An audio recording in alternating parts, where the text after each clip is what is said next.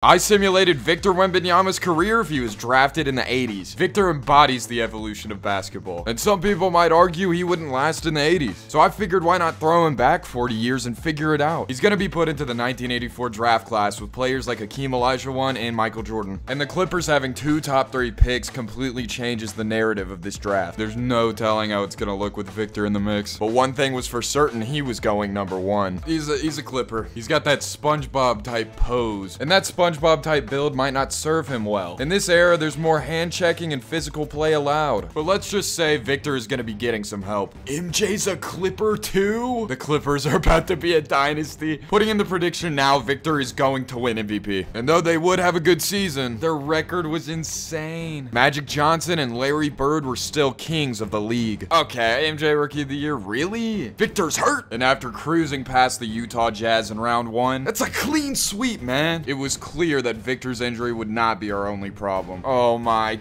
god, not Magic! There's just no, we, we got swept. We got swept. God! Magic and the Lakers quickly humbled me in season one. But before season two, we should stop and spice things up. I decided to throw a little challenge in the mix. And so for every season Victor doesn't win a championship, I have to use a wax strip on my legs. Yeah, it's, it's gonna, it's gonna hurt a lot. Three, two, one. Oh my god. My legs are gonna be looking like Jennifer Lopez's after this. Looking at the roster before season two, Victor and MJ clearly had been putting in work. Victor went up to a 95 overall in the offseason, and MJ's a 91. They're about to run the league. Magic and Bird, it's over. And with a record of 65 and 17, I might have been correct. But there was a huge problem I hadn't yet picked up on. Where's Victor? He's not on any All-NBA teams. Dislocated left patella. The 1980s NBA is eating Victor alive. But even without Victor, the Clippers had a one seed and Michael Jordan. Okay, MJ got it done. The Blazers have Clyde, Fat, and a ton of nobodies. And well, the Clippers didn't stand a chance against these nobodies. The Jazz and rookie Karl Malone got their chip, and me, I was back to waxing my legs. Season 3 gave me a little pep in my step though. Victor was healthy and ready to go. Victor's back, he's pumped, and rightfully so. Victor didn't get injured, made all NBA second team, and got a 50 plus win season.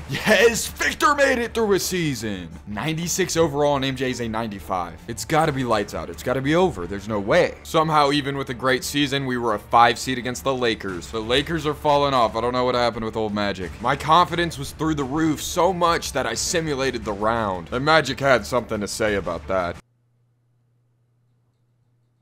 What? How did they win? This team is not even better. Victor was not translating to the 80s how I had hoped. Victor put up 31 in those playoffs. Magic and the Lakers of course won the chip, and I of course continued to mutilate my legs. One. Oh, God. Two. One. Oh my god, it wouldn't come off! With public enemy number one being the Lakers and Magic, season four was no different. Wembanyama was a 97 and even had a minimal impact on the floor. He had to have been injured because I don't believe he only put up 1,200 points. And a subpar Dallas team had their way with the Clippers in the playoffs. There's no way. There's like actually no shot. I'm so sick of the Lakers! Hmm. A Lakers chip and another leg waxing started to give me deja vu. Hmm.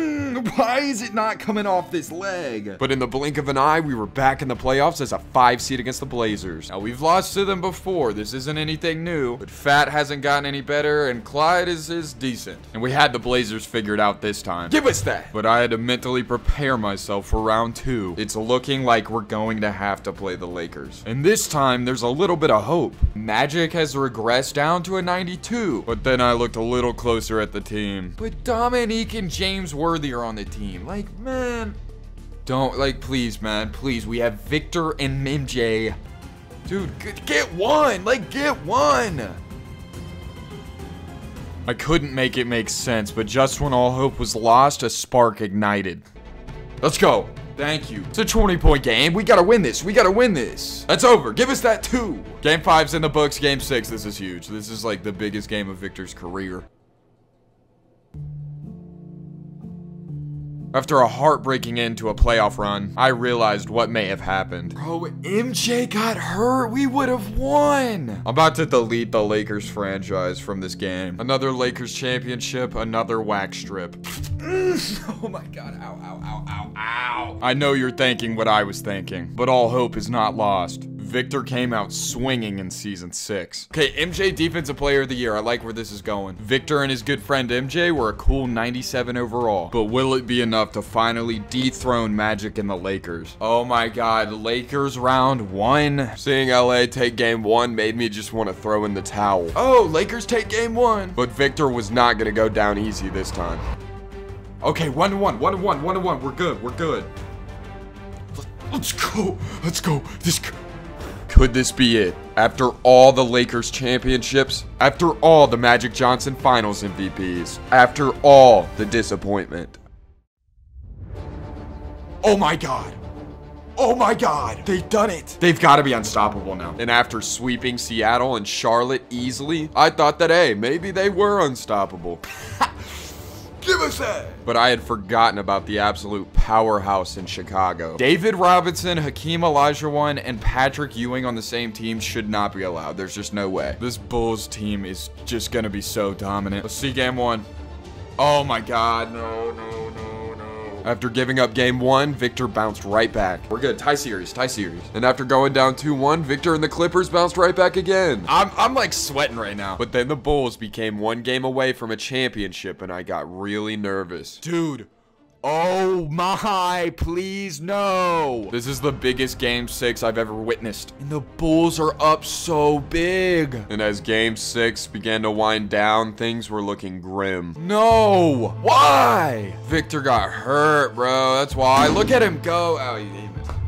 Oh, look at this. Like, what am, what are we gonna do, bro? Another hopeful season down the drain. Like, I didn't think Michael Jordan and Victor Wembanyama would take this long to win a chip. But they, in fact, would take this long to win a chip. And I really wish I could say Victor's story in the 80s got better from here. In the next season, with a decent seed against the Utah Jazz, Victor and the Clippers get swept. We're gonna have to start waxing my chest here soon.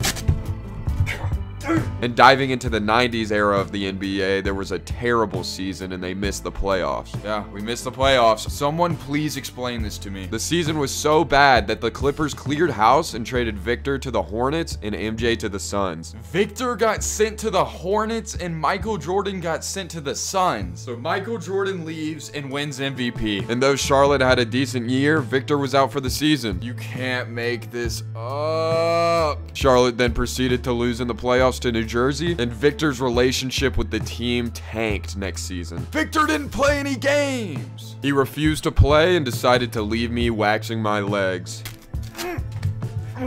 Shockingly, someone with a build like Victor's, no matter how good, could not survive in the 80s NBA.